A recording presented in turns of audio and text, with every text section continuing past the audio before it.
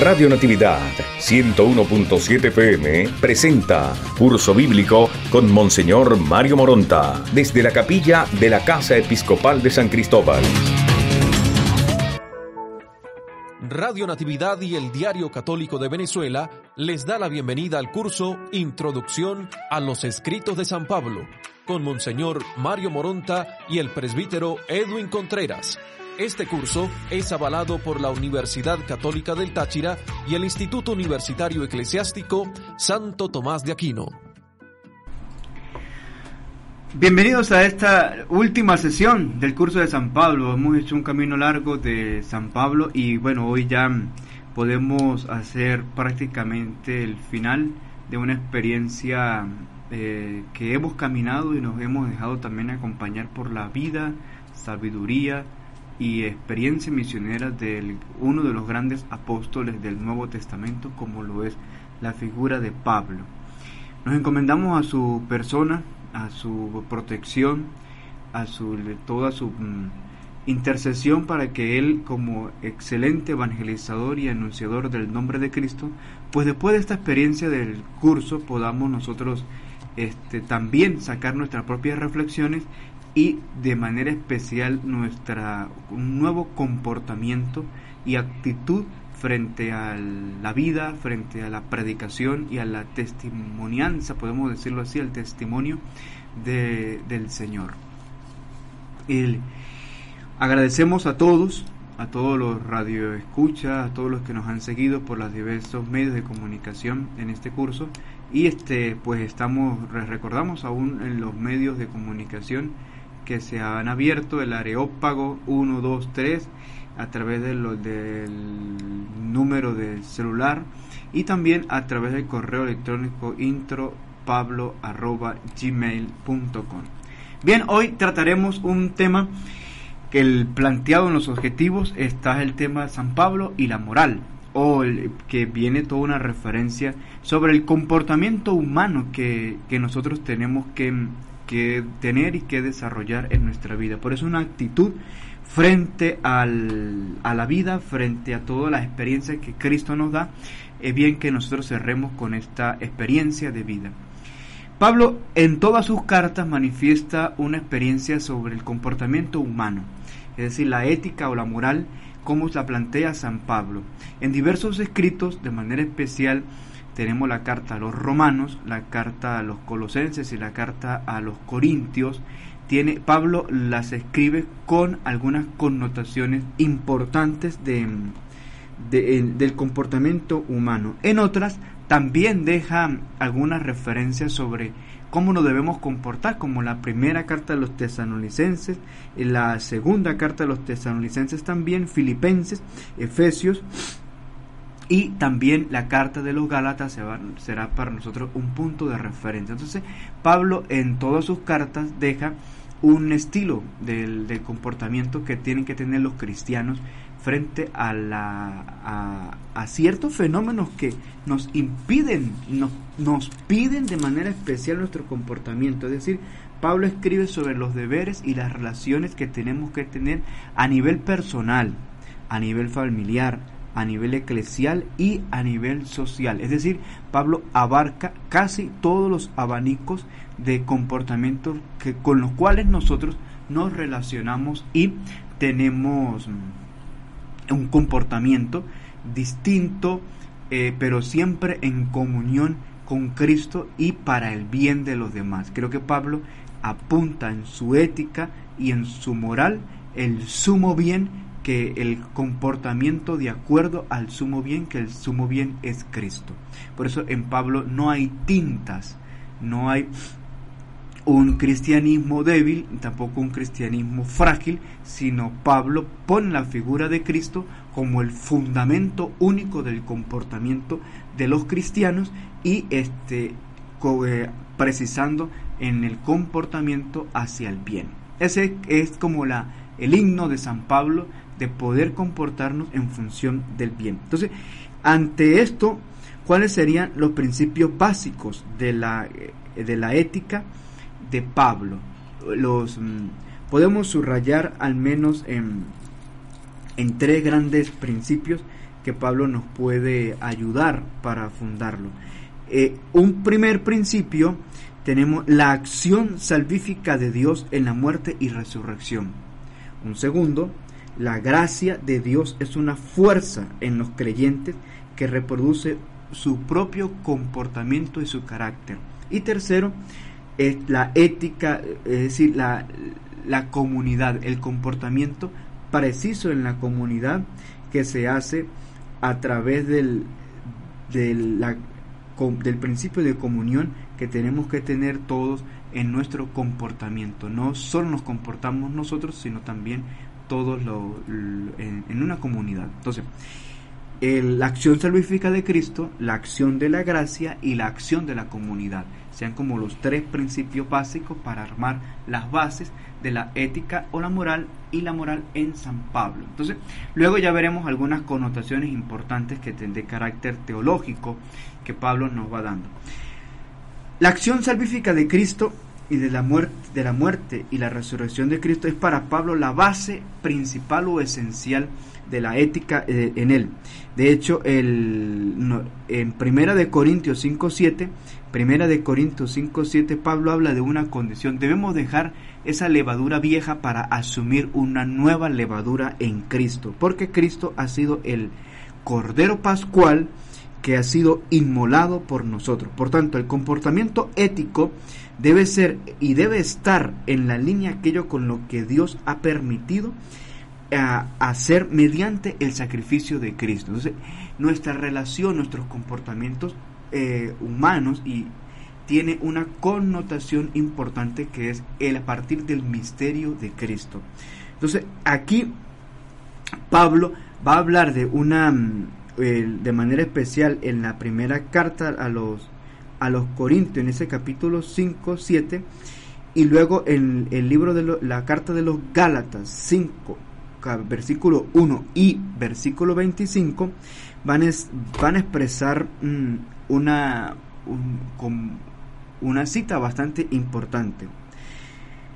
Debéis formar vuestro carácter y vuestro comportamiento en aquello que es la acción de Dios en Cristo, de la cual nos ha permitido estar. Entonces, Pablo habla de esa, de esa relación como un, un imperativo que todos nuestros comportamientos deben estar aplicados al, al carácter de Dios, al carácter del salvífico de nuestro Señor Jesucristo. Entonces, mm, en efecto, el, nada más y nada menos que que Cristo haya sido inmolado por nuestra salvación debe producir en nosotros un comportamiento que debe apuntar a, e, en relación a ese misterio de salvación. Es decir, nuestro comportamiento debe aspirar a la salvación y debe estar de acuerdo con la salvación. Si el, si el sacrificio eucarístico, eh, salvífico de Cristo a través de la Pascua, del Cordero Pascual, impregna en nosotros un carácter, debe también impregnar, un carácter salvífico debe también en nosotros impregnar un carácter de comportamiento. Es decir, nuestra vida debe estar regida, aplicada o en conformidad con el acto supremo de la inmolación de Cristo. En otras palabras, no despreciemos el esfuerzo inmenso que ha hecho Dios a través de la muerte y de la resurrección de, su Hijo por nuestra salvación. Entonces, el esfuerzo de un comportamiento digno debe responder a la gracia de Dios en el, por el misterio salvífico de, de Cristo. No, no tiremos a la borda tanto el esfuerzo de Dios. Una segunda mm, actitud o base que Pablo coloca es la gracia. La gracia de Dios es una fuerza en los creyentes. Es decir, no vamos a actuar o no nos vamos a comportar por simple iniciativa. No lo podríamos hacer. Nuestro comportamiento en expresión del bien y con el rechazo hacia el mal directo no eh, es una lucha constante con el mal. Entonces, eh, San Pablo dice, esta, este esfuerzo es ayudado ciertamente por la gracia que Dios deposita en cada uno, por la asistencia, la compañía que Él va ejercitando en todo lo que los buscan. Entonces, así, la carta a los Efesios habla de este principio en cuanto que hace una invitación fuerte a ser imitadores de Dios. Entonces dice, em, en el capítulo 4, en el versículo 32, San Pablo va a, reafirmar ese comportamiento diciendo, eh, sean buenos y compasivos unos con otros y perdónense mutuamente como Dios les perdonó a ustedes en Cristo.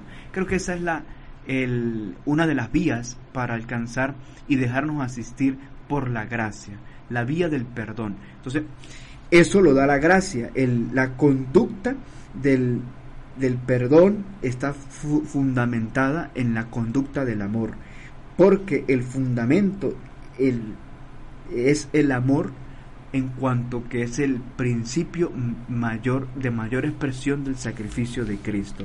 Entonces, el, la disposición está en que el que apunta al sumo bien, el que, el que se une a la verdad en Dios, a la verdad en Cristo, va a estar asistido en su gracia. Va a estar asistido como, una pregunta que nos pudiésemos plantear, asistido en sabiduría, asistido en protección, asistido en un buen comportamiento, asistido en un discernimiento en, que, en, la, en las cosas que tenemos que desarrollar y hacer, y asistido también en la vida espiritual. Dios también va dando una gracia de oración que le permite ir manifestándose en cuanto a las conductas y comportamientos que, que tenemos que tener. Una razón en la que Pablo señala que no debemos dejarnos también mm, obviar es la comunidad. Nosotros no estamos aislados, nosotros estamos inmersos en una comunidad y en la cual tenemos que asistirla de una u otra manera. Entonces, Pablo le interesa que el comportamiento dentro de la iglesia, por eso su ética y su moral hace una división en una ética comunitaria, una ética que se fundamenta en la comunidad y que se expresa de manera directa allí. San Pablo en, en otros textos se va a referir a los no creyentes y encuentra indicaciones de un, de un referimiento más universal. Por ejemplo, en Gálatas 6.10, un paso que puede referirse a la colecta de Jerusalén, pero está en, en diversa contradicción con 1 de Corintios 9.10 al 11. Pablo concluye su discusión sobre el dar una, un, una disposición y dice, operamos siempre el bien por todos, sobre todo por los hermanos en la fe. Entonces aquí San Pablo va a tener una connotación bien importante. ¿Cuál es el concepto de fraternidad? Si nosotros estamos inmersos en la medio de la comunidad, ¿qué tipo de hermanos nosotros tenemos? Y San Pablo va a unir quiénes son los hermanos en San Pablo y con los cuales tenemos que tener una actitud hacia el bien, o todo nuestro comportamiento y, nuestra manera de pensar, de actuar y de amar tienen que apuntar hacia el bien. ¿Con quiénes? Pablo dice, con los hermanos en la comunidad. ¿Quiénes son esos hermanos? Entonces San Pablo une dos conceptos importantes, un concepto griego y un concepto hebreo, de acuerdo a su, a su ideología. En el concepto griego maneja que la fraternidad, en resumidas palabras, la fraternidad se hace en función de, la consanguinidad, es decir, somos hermanos por la sangre. Y este, entonces eh, Pablo habla que nosotros apuntaremos en un comportamiento hacia el bien gracias al misterio salvífico de Cristo y ayudados por su gracia con los hermanos que, que comparten con nosotros la misma sangre. Bien, pero también asume el concepto hebraico de fraternidad. Este concepto hebraico es mucho más amplio. ¿Por qué? Porque para los hebreos el somos el, el calificativo de fraternidad no solo se reduce a la consanguinidad, sino a la fe. Entonces, por tanto, para un hebreo somos hermanos en la fe. Es decir, porque creemos en el mismo Dios, el mismo Dios de Abraham, de Isaac y de Jacob. Y Pablo asume esa fe, creemos en la misma fe, es decir, en Cristo, que es hijo del Dios de Abraham, de Isaac y de Jacob. Entonces, este, esa connotación de fraternidad, que es mucho más amplia en el mundo hebraico, es ganada en todos sus escritos también, porque nosotros no simplemente vamos a ver como hermanos a los que comparten con nosotros la misma sangre, porque sería un grupo reducido, sino también a este sentido universal de fraternidad, los que creemos, hermanos en la fe, hermanos en un mismo Dios. Y allí el concepto de fraternidad se hace mucho más amplio, porque donde haya un cristiano es considerado también un hermano. Entonces, esta experiencia de, fraternidad es base en el pensamiento eh, eh, eh, moral de San Pablo, porque este, abre esa dimensión hermosa de que todos, todos, por la fe, somos hermanos. Entonces, este, el, comportamiento no, no, se reduce a prácticas de bondad, sino algo mucho más abierto, que es, la donación completa de mi persona en un comportamiento estable que ayude al otro también a sentirse hijo de Dios y a sentirse hermano en la comunidad porque cree en un mismo Dios. Entonces, estos tres principios, que lo podríamos llamar principios básicos, mueven la, los conceptos de mm, moral en San Pablo. Sin embargo, nosotros apuntamos a, en los escritos de San Pablo, en una, en una concentración de sus escritos, nosotros apuntamos que Pablo apunta hacia una ética del amor o a una moral basada en el amor. ¿Cómo se desarrolla esto en los escritos de San Pablo? Ciertamente tenemos los principios básicos, pero ¿Qué mueve esos principios básicos? Es decir, ¿qué mueve al cristiano para valorar el misterio salvífico de Cristo y optar un comportamiento hacia el bien? ¿Qué mueve para que la gracia se manifieste y se, y se frague en, en ese cristiano? ¿Y qué mueve para que todos nos abramos a una experiencia de fraternidad? Entonces San Pablo reduce en una en un concepto básico que es el concepto del amor, también desarrollado en una de sus cartas donde expone de manera directa el comportamiento moral como es la carta a los Corintios. Recordemos que, que bien Pablo lo, lo manifiesta en, a través del cántico del himno del amor en la carta a los Corintios. ¿Por qué? Porque recordamos que en, en el pueblo de Corinto habían incluso templos dedicados a, la diosa Afrodita, donde se, se mantenía la prostitución sagrada. Y de hecho existía la frase este, eh, del verbo corintiar, es decir, todo lo que tenía eh, en referencia a la lujuria y a la sexualidad y a, y a los vicios que se unen en torno a estos a, estos comportamientos eran reducidos como el corintiar. Entonces Pablo en la carta de los Corintios hace una relación en basando su comportamiento en el amor. ¿Y cómo lo hace? De manera bien importante. Pablo en el capítulo 1, en la carta, en la primera carta a los Corintios, él habla del misterio de la cruz. Entonces el misterio de la cruz es la que va a permitir la redención y la conversión en la conducta humana.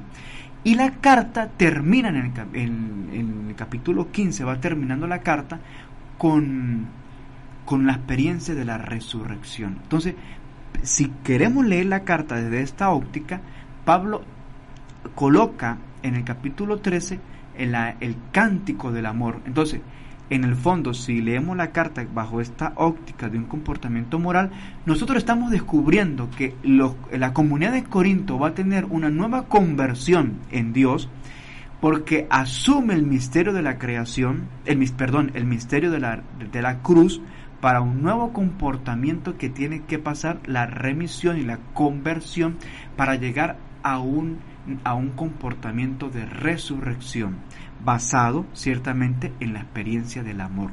La carta misma nos habla que es la cruz y la resurrección las que van a permitir este, este comportamiento, pero con la experiencia del amor. Por eso San Pablo va a hablar de ese cántico en el capítulo 13 de los Corintios de la experiencia del amor. Entonces, así nosotros podemos hablar de una ética, una moral basada en el amor. De lo contrario, no sería una, una verdadera moral, sino un hermoso comportamiento este, filantrópico que me podría decir que, que acepta el, y sirve a los demás compañeros de la misma raza humana, pero no por el amor, simplemente por un comportamiento ideal de querer servir. Pero Pablo dice, no, eso no es el comportamiento filantrópico, queda muy bajo frente a lo que es un comportamiento por el amor. Entonces Pablo va a ser algo bien interesante basado en el amor. Pablo hace el, el amor en lo específico y es el modelo de vida con el cual la gracia forma una nueva realidad en el creyente. No hay otra experiencia allí. Eh, hace eh, el amor viene de una, eh, una infusión de esta manera sobrenatural que Dios permite en el ser humano mediante la gracia de su espíritu y que ocasiona el propio carácter construyendo en él una esperanza. El cristiano va a tener esa esperanza siempre de un comportamiento en el bien. Entonces, el que va a terminar esa esperanza de comportamiento positivo crea una esperanza escatológica, es decir, la vida correcta, la vida eh, perdonada también que tiene el ser humano en la tierra, se abre una experiencia del más allá, es decir, escatológica, que va a terminar con el juicio de Dios, en el juicio final, con la experiencia del amor. El amor va a ser, es la primicia del Espíritu Santo, como lo dice Gálatas 5:22. El amor es la primicia del Espíritu Santo. Entonces, Pablo entra para poder definir esto, lo va a hacer con una técnica interesante que en el fondo es una, una de sus de sus de técnicas favoritas para escribir que él hace hace un recurso al Antiguo Testamento y lo planifica en el Nuevo Testamento, se lo, lo planifica en Cristo. Entonces, por ejemplo, aquí va a agarrar el recurso de la ley. La ley se va a convertir, la ley que era la que modelaba el comportamiento este, humano en el Antiguo Testamento, es decir, decía cómo debe comportarse un verdadero judío con referencia hacia Dios, la ley Pablo va a superar el puesto de la ley y este, lo planifica con el amor en Cristo. Entonces, esta separación, pero al mismo tiempo esta fortaleza que San Pablo toma del mundo de la ley, este, hace que entre en experiencia el amor de Cristo y así Él pueda presentar nuestro comportamiento, nuestra forma de actuar, nuestra forma de pensar tiene que estar de acuerdo a, en Cristo porque la ley se convierte entonces o hace convertir al ser humano en un esclavo. Entonces Pablo hace esa separación interesante y lo hace, lo presenta ciertamente en la carta a los Gálatas, desde el capítulo 3 al capítulo 5. Pablo va a colocar ese, esa fuerte contradicción en que hay entre la ley y la fe. La, y la fe la va a, a, presentar como una mm, mujer libre y que libera, ¿ok? La fe libera del yugo de la ley que la presenta como una, una, un aspecto que hace al hombre esclavo. La fe es la que va a liberar al hombre de esa esclavitud. Entonces, la ley era como un esclavo que guiaba, que eh, este, regía el comportamiento humano, cuando se era niño. Ahora, habiendo llegado ya a una edad adulta, en la fe, por supuesto, estoy hablando, este, sale al encuentro el, la fe.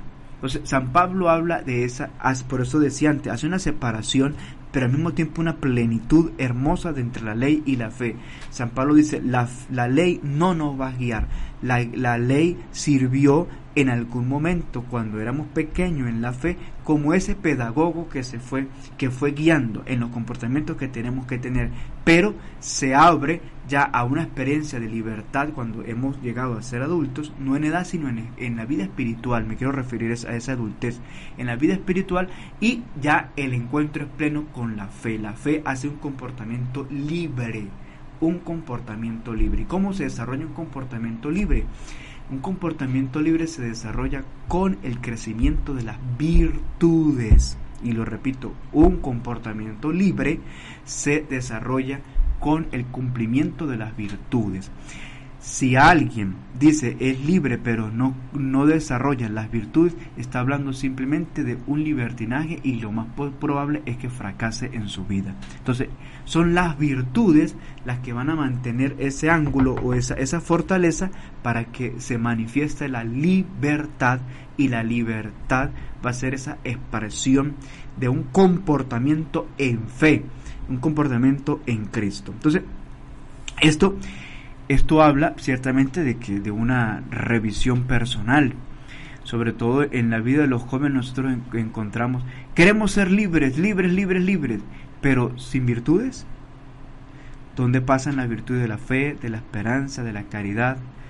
¿Y dónde pasan este, las otras virtudes que tenemos que, hacer crecer en nuestra vida, como la prudencia, este, la esperanza, la fortaleza, la templanza, virtudes este, de, también de carácter francamente humano como la responsabilidad, este, como la justicia, como el, eh, bueno, la, la honestidad y otras virtudes que en nosotros deben reinar. Entonces, la libertad se fundamenta en las virtudes, el modo o la vía más práctica para sentirse libre eh, con, el, con el cultivo de las virtudes. En efecto, en vano no hace la iglesia un camino importante cuando examina la vida de los que mm, presenta como candidatos a la santidad. Lo único que le van a examinar a estos beatos en camino hacia la santidad este, es qué virtud cumplió en grado heroico.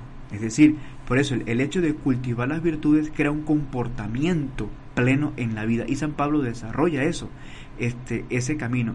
La ley al principio fue un instrumento pedagogo, pero luego este, al, al crecer espiritualmente, la fe es la que permite esa libertad espiritual de un, un comportamiento pleno, porque se actúa por creer en Cristo, no por estar sujetos a la ley si hago o no hago, si dejo de hacer o no hago, si cumplo o no cumplo. No, no, no, no, no. Dios no, no, no funciona así, sino que esa fe actúa por el, porque creo en Cristo y esa credibilidad en Cristo me, la, me da libertad y esa libertad me hace fácilmente el cultivo o se, es el fruto, el resultado de la práctica de las virtudes. Entonces, esta experiencia es hermosa en, San Pablo, porque nos hace romper inmediatamente un, un esquema, un paradigma mental que muchas veces podemos manejar, que somos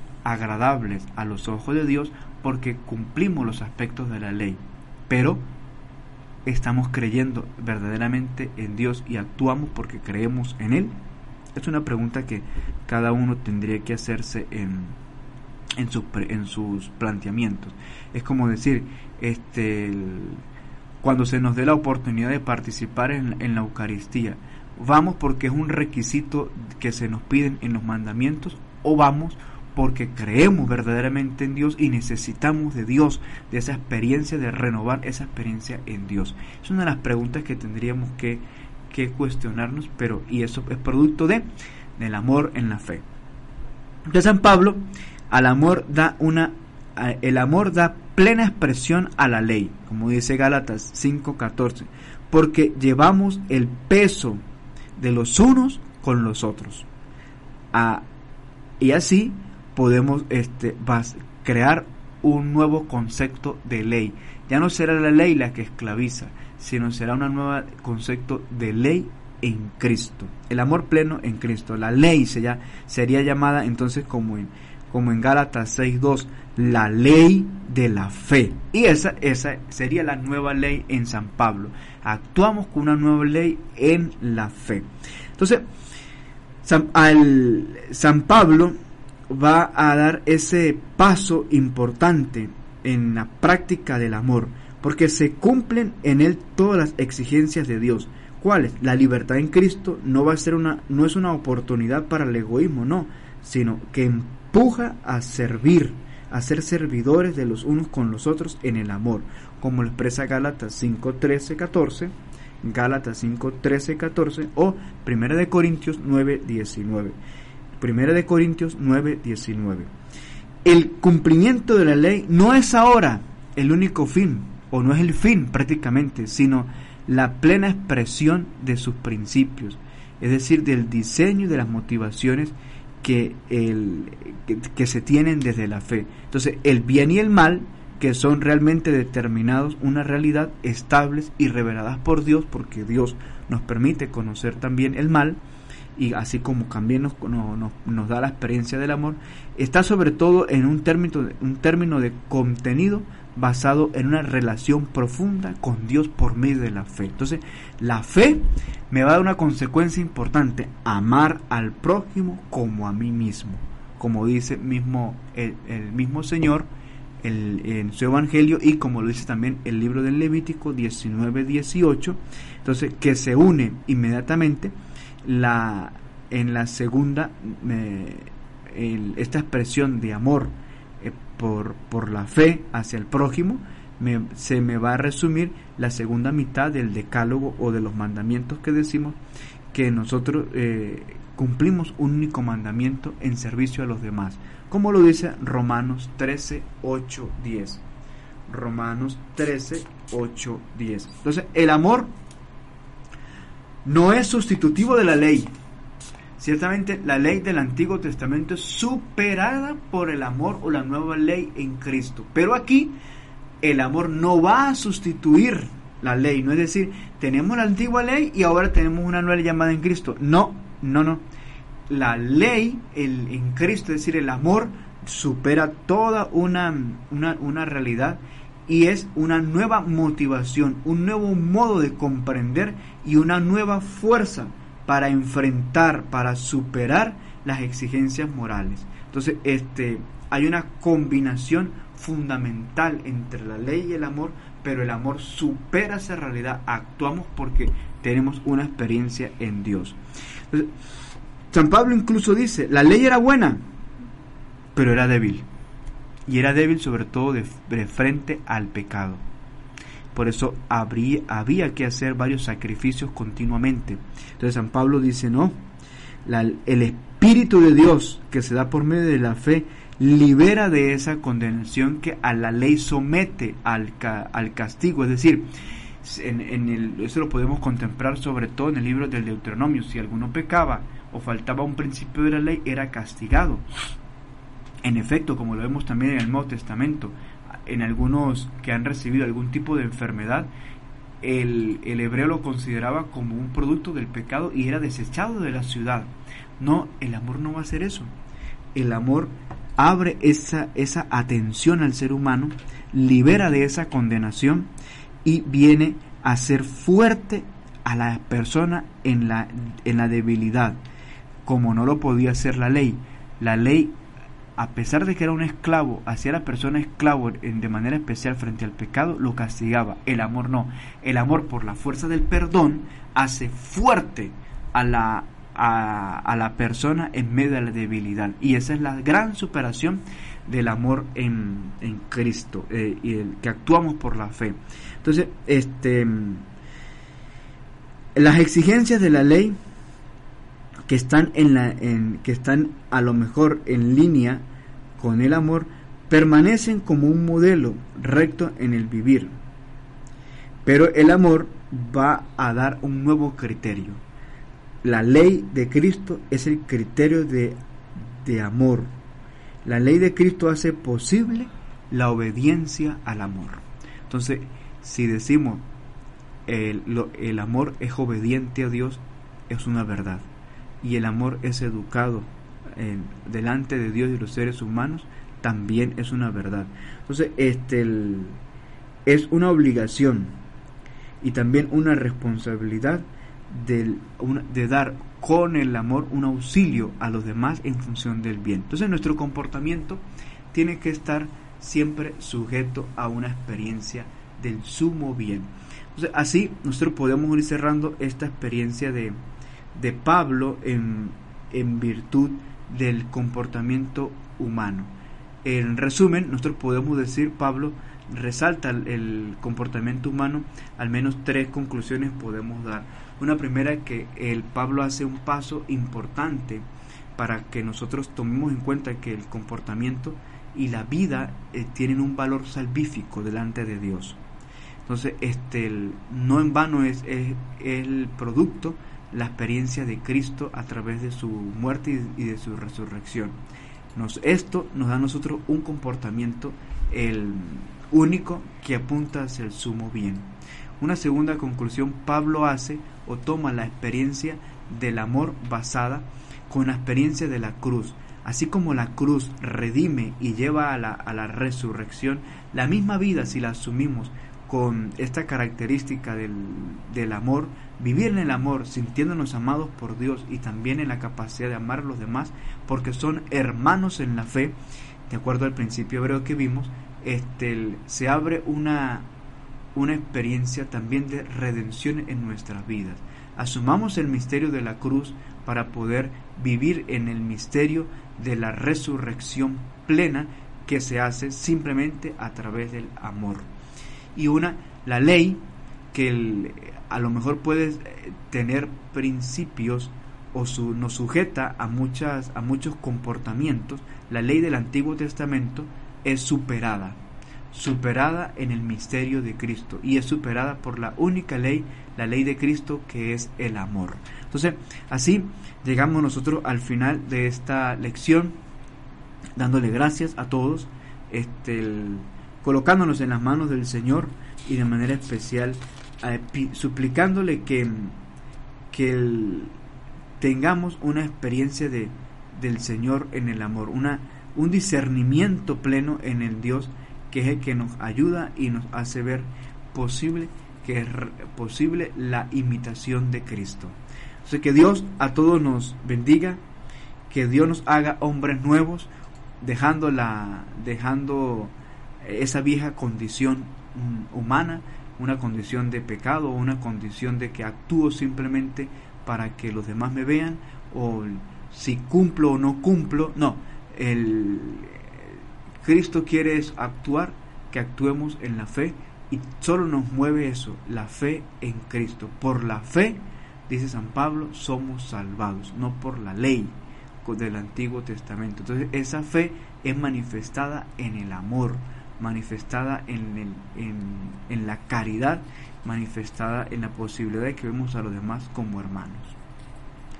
Que Dios nos bendiga que San Pablo siga intercediendo por nosotros y agradecemos esta oportunidad que nos concede este curso de podernos encontrar a través de sus ondas.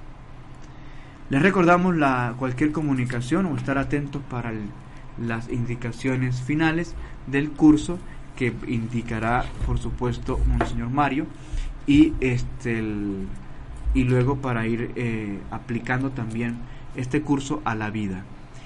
Este curso, después de la experiencia de San Pablo, pues nos queda decir que también nosotros asumamos un comportamiento de vida distinto, que sea más parecido al de Cristo y este que reine más en nosotros Cristo, así como hizo San Pablo, que puede proclamar vivo para Cristo. Este, mi vida es de Cristo y ay de mí si no predico el evangelio. Que Dios a todos nos bendiga.